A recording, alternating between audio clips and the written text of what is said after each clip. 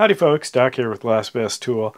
And I just wanted to bring a bring this back to your attention. This is um, to me an example of Milwaukee not really doing their homework. This is old. I got this many, many years ago. Um, it is a voltage detector that they made. I thought it was kind of a neat little form factor. This thing, it's got one button on the back, turns on a flashlight. There's no choice whether or not the light is on. If this is on, then the voltage detector supposedly works. This little red check is the entire voltage checking. So I can turn it on, lights on, and then as I get it near, you might see that that lights up, maybe barely. Um, it's a little hard to see, uh, and that's kind of the point. And I can't turn the light off, and it doesn't shut off automatically because it's got a hard on-off switch. So if I leave it on, which you can see here, it'll just stay on.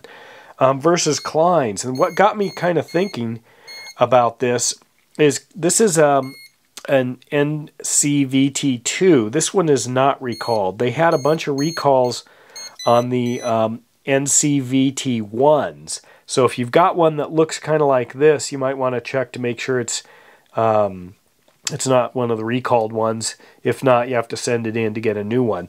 Um, but Klein has made really good quality voltage detectors. These are non-contact voltage voltage detectors, meaning they pick up the EMP or the kind of the or not the EMP, the uh, electromagnetic uh, field (EMF) around um, any any active um, electrical movement through a, a circuit.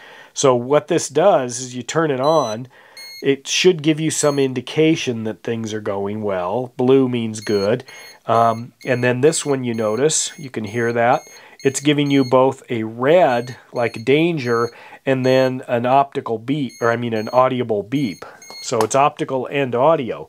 This is another one. You can push the non-contact voltage button, turns it on.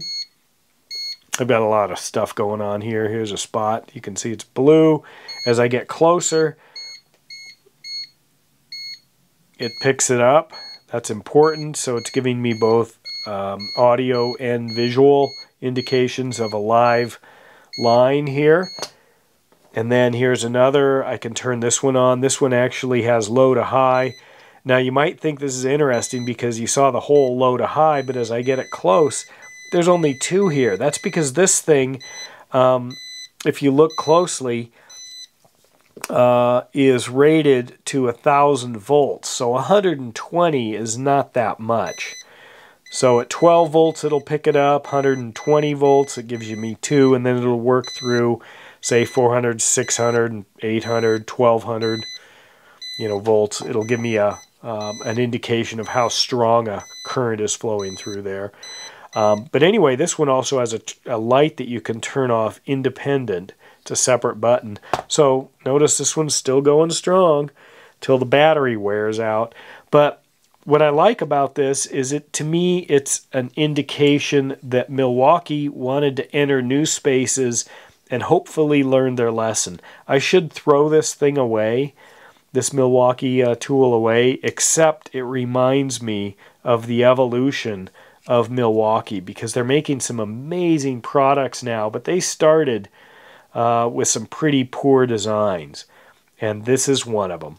With that, Doc out.